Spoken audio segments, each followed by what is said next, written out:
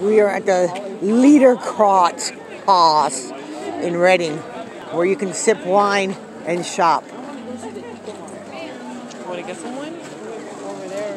Sissy says you want to get some wine. She wants me to get another headache and, and barf. Are they by sizes?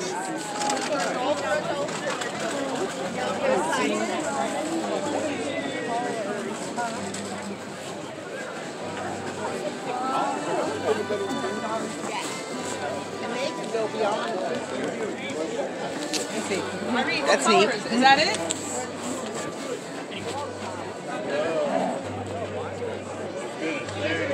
Yes, we are. Yep. Fire pits.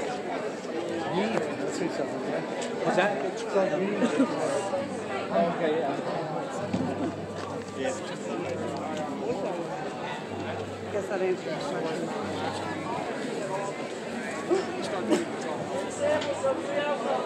Red Solo Cup. I fill you up. Let's have a party.